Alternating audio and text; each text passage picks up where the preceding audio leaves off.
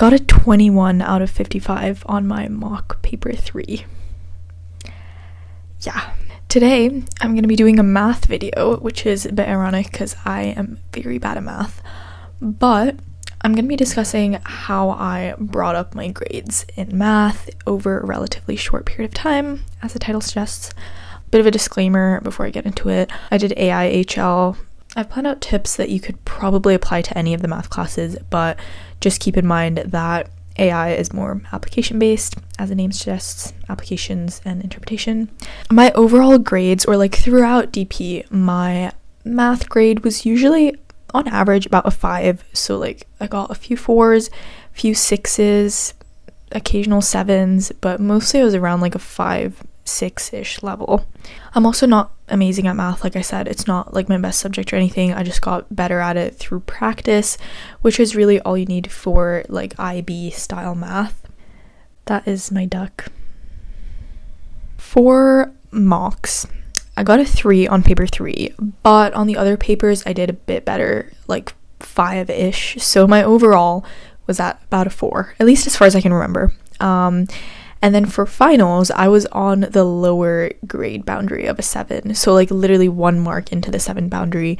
I think I got like a 68 or something. Um, so, my point is, I didn't go from like terribly failing to 100% in two months' time. I think that's pretty unrealistic. Although, to be fair, if you really just focused on math and like maybe even neglected some of your other subjects, you could probably do that. Um, but obviously, like you want to do well overall, not just like putting all your efforts into one subject. I want to re emphasize the importance of grade boundaries, which I talked about a bit in my last video. Um, but basically, just that the grade boundaries that your school uses versus the final IB grade boundaries are often quite different. So, the same raw mark that I got in my mock exam, 21 out of 55, would have been a higher grade on the final. So, it probably wouldn't have been a three, maybe like four I don't think it would have been a five, but like maybe four. Um, so just keep that in mind that the raw marks you're getting on your mock exams will not really correspond to the same grade on the finals. So, to start off with how I structured my revision, I basically made a spreadsheet with each chapter of the textbook. So, I just took them out of like I think the contents page of the textbook I was using. I was using the Oxford one. Um, it's a decent textbook, but like I wouldn't particularly recommend it. I didn't really use many other textbooks, and I don't think there were that many good ones for Math AI. Um, but that's like the one that I used, and also the one that my school provided. So I put in all of the chapters on um, each one in one row, and then I basically highlighted them in terms of how confident I was on each subject. So obviously, green was like easiest, going up to like uh, orange, which was the hardest. I don't think I put any red, which there were definitely some here that were red, but like be honest and realistic. And then each time I would revise the subject, I would write in the date and then how well it went. So, like revision, as in like doing something fairly active. So, like maybe doing some practice questions or like recalling some notes or formulas from memory, things like that. And then, yeah, I would write down each time I practiced it, and that way I could keep track of when the most recent time I revised each topic was. Uh, I mostly started doing this, like, I think after my mock exams. As you can see, the dates are like a bit later, and I kind of abandoned it, like, closer to the final exams because, like, I did start doing past papers, as you can see here instead, uh, which is why the dates go from like March to like mid April. Uh, but of course, you could do it over a longer time period. I just like didn't really focus too much on math until then. If you see some like discrepancies here, I'm pretty sure what I did was um, change the color of the actual topic based on like the most recent update or like the most recent time I revised it. So this one was probably yellow at first, and then I changed it to green after revising it twice. Um, but yeah, as you can see, like you don't have to do this perfectly. Like you can do it perfectly. That would probably help you, but I was like not too great with it, but the main point is that this is so that you can get an idea of where you're struggling most. So like even after making this, I could see like okay, so integration and like differential equations were what I was struggling with the most and also a bit of statistics. So when I'm revising, that's where I should put the most time into. And this way I also knew exactly which chapter of the textbook to refer back to. You could do this with like points in the syllabus, which is what I tried to do in the beginning, but I found that there's just too much in the syllabus and like it goes into very specific things. So I just found it easier to do the textbook way. And this way I also knew when I had tutoring, for instance, um, I knew which topics I could do that week with my tutor. This method is from Ali Abdaal. I think he was the one who created it. Um, and it's called like retrospective timetable or something like that. I'll put a link in the description if you want to read more about the full proper method, but this is just like my kind of adaptation of it. Another thing I did was have like a main study calendar. So this is like starting in April, I think it went down to May, and this included like all of my subjects, so color coded. Math was the main one that I focused on. So, as you can see, for math, I split it up very specifically into like different um, topics, and I just copied and pasted these from the other sheet that I showed earlier. And this way, I knew what exactly I would focus on each day, and I was able to sort of spread out my revision and also start with the hardest ones, of course. The main point is to just do a little bit every day and then sort of build that up. Uh, another thing I want to say is I did it this way because I was quite weak on content from the beginning. If you're already pretty much fine on content, then obviously you want to spend more time doing practice questions and past papers instead. But I wanted to make sure that I covered every point in the textbook because I knew there were things that it wasn't too clear on yet.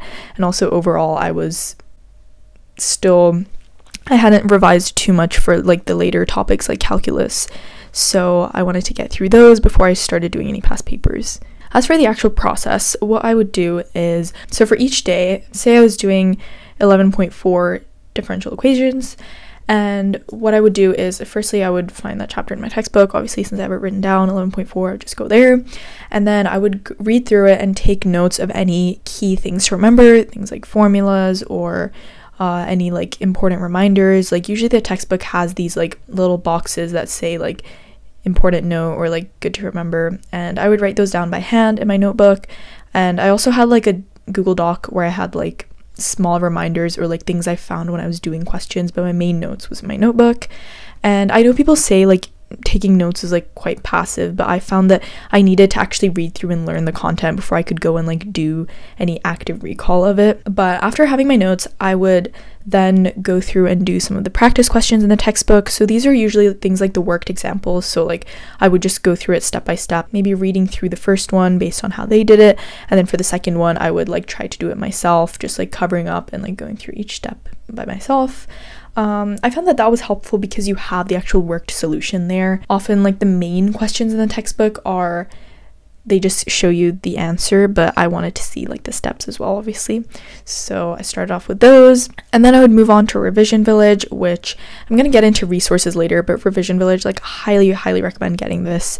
And I would go through like a couple of questions on there based on how confident I was, and since I had the notes to refer back to, I didn't have to go back to the textbook. And then if I maybe really felt like it, then I would do like one or two past paper questions on it. But again, this depends on how difficult the topic was. So I had I had differential equations in orange, so maybe I wouldn't do as much as if it was like one of the red topics. I also had tutoring like all throughout IB and especially during final season. So I would sometimes go through the textbook or go through the chapter with my tutor. So that's pretty much how I revised each topic. Um, just staying consistent is an important thing and making sure that you don't fall behind too much.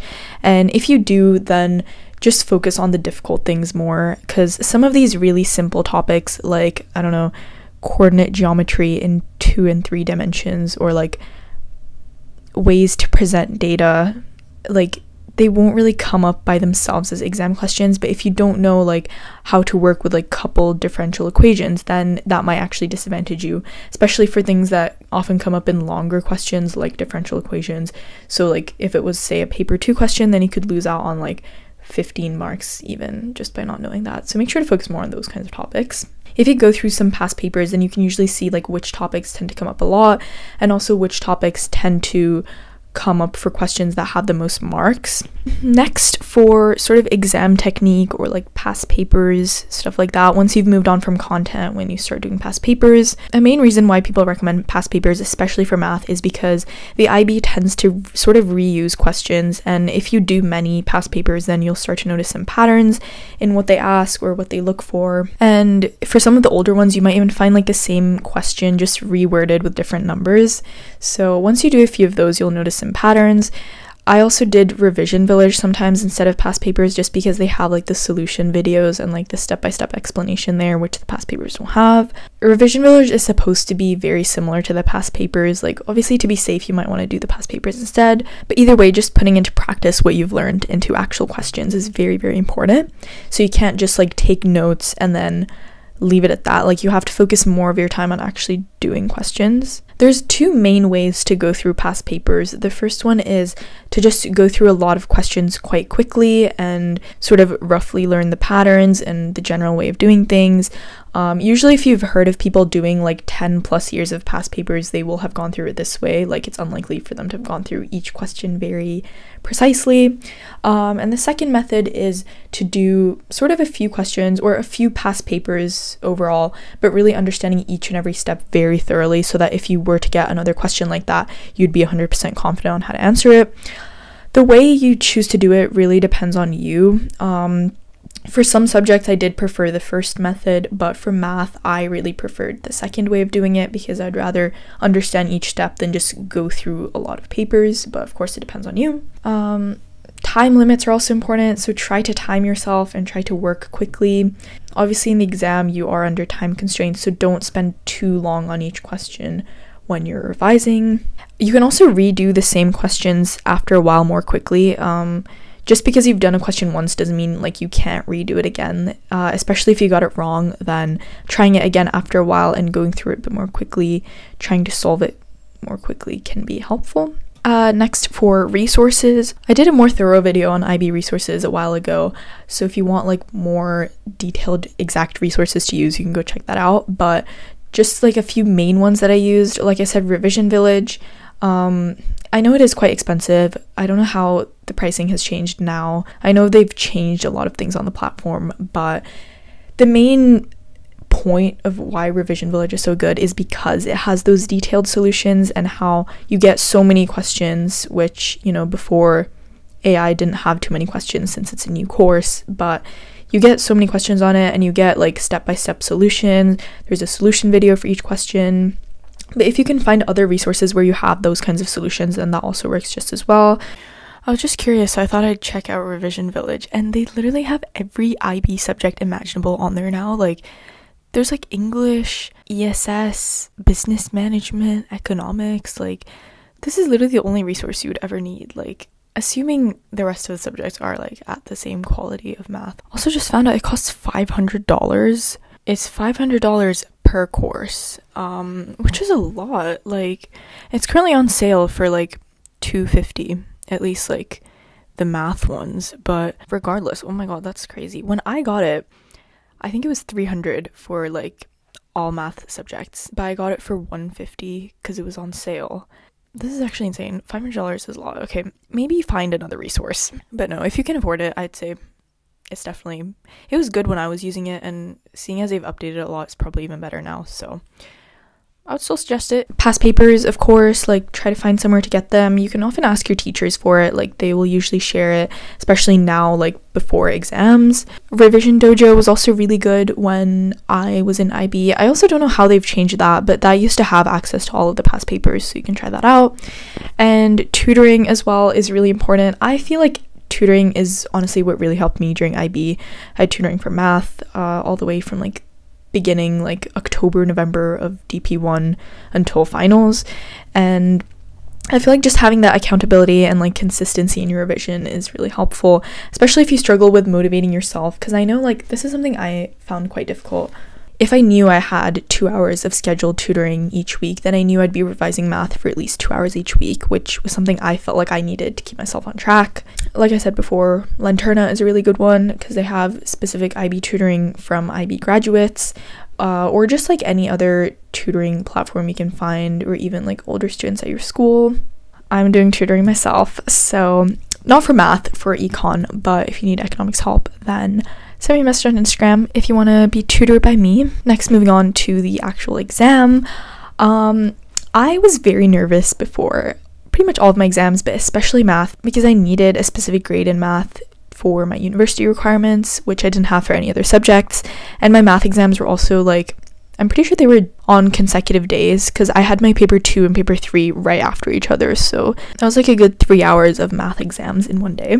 But during the exam, just remember that the feeling you get after the exam is not reflective of the final grade that you'll get. Like, I had so many exams where I came out thinking I did awfully and it didn't turn out that bad.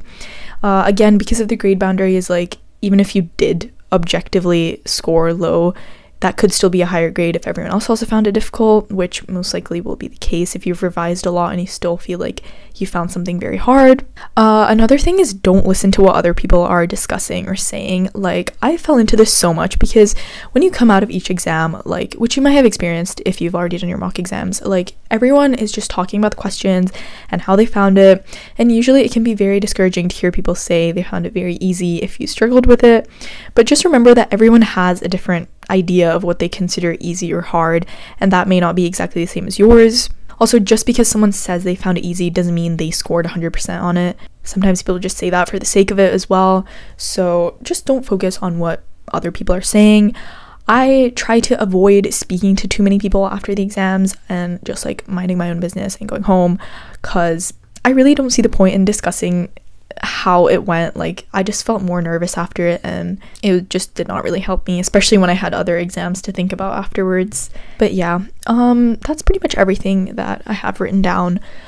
But just remember that math is pretty much down to practice. And if you practice a lot of questions and you genuinely understand the steps behind them, then for sure you will get a good grade. Because you have space between the exams as well. If you if you had paper one first and you found a topic really hard on that, then you have a little bit of time before paper two to go and practice that uh, a note on paper three as well. Like, literally everyone finds that one difficult. And I feel like no matter how many practices you do for paper three, it's always so unpredictable that you could still get a really difficult question. But I feel like you'll always kind of get thrown off at least a little bit in some aspect, but that's okay because the idea is that you make up for that with other questions that you're more confident in. Um, but overall, make sure to focus your vision on, like I said before, topics that are likely to come up in more long questions. I've seen these videos on YouTube where people say, like, um, what percentage of questions come from each topic. I think for AI, like normally as you'd expect, like a lot of it is statistics. Um, but there was also quite a bit on like functions, I remember, and like calculus as well. Calculus is more for those like long answer, like paper two questions, but uh it, it does depend on the year as well, so don't take this like but yeah, um, that is how I failed my math mocks and still got a 7 in the final exams. This is also why I say don't be discouraged too much by your mocks grades because you can still improve afterwards. And I did still get a 7. It was a low 7, like I said, uh, like 68%, but it was still a 7 and I still managed to meet my university requirements. And yeah, um, good luck with your revision if you are currently revising for IB exams. I remember this was a very long and very exhausting time, but it will be over pretty soon in like literally two months, so you're almost there. If there's any other subjects that you want tips on, then leave a comment or any other like IB related topics that you want me to do a video on. Um, I feel like I've covered a lot of IB stuff already, but I am planning on doing a more general, like, overall tips video next, and maybe also some more subject specific ones. Um, but yeah, that is all. I hope you found something useful in this video. I'm not gonna lie, I've been looking at my duck for like half of the video, if not on my laptop.